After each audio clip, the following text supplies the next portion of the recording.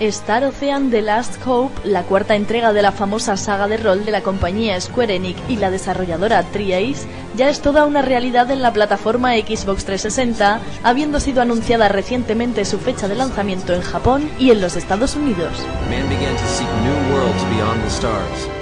Una vez más nos encontraremos con un RPG cuya historia nos sitúa varios siglos en el futuro, teniendo lugar toda la acción en numerosos planetas del espacio exterior, aunque con la salvedad de que se trata de una precuela, por lo que todos los acontecimientos que viviremos durante la aventura serán anteriores a lo acaecido en el primer episodio de la saga, desvelándose de esta forma los detalles que desencadenaron la gran guerra que terminó por convertir a la Tierra en un planeta inhabitable, siendo la última esperanza para la humanidad encontrar un nuevo hogar más allá de las estrellas.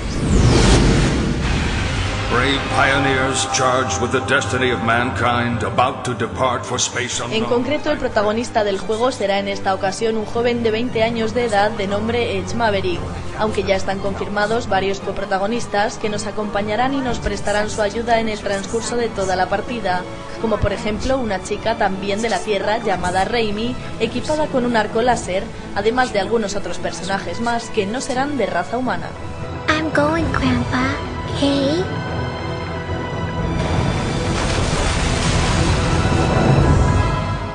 En cuanto a su jugabilidad, el juego nos ofrece una mezcla de combates por turnos y acción en tiempo real, ya que cuando llegue el momento de librar un enfrentamiento, nos trasladaremos automáticamente a un escenario de batalla cerrado en el que podremos seguir controlando al personaje por nosotros mismos, e incluso intercambiar su control metiéndonos en la piel de cualquiera de los otros miembros de nuestro grupo, siendo la CPU la encargada de dirigir en esos instantes al resto de héroes.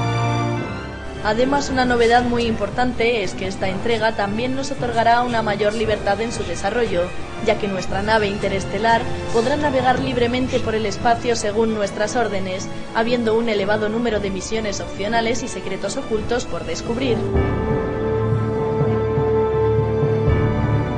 Visualmente el salto gráfico de este nuevo capítulo resulta bastante espectacular respecto al anterior episodio aparecido en PlayStation 2, mostrándonos unos entornos más realistas y detallados que nunca y unos personajes excelentemente modelados aprovechándose en gran medida las posibilidades del hardware de Xbox 360, aunque todo ello sin perder en ningún momento su característica estética de marcado estilo manga.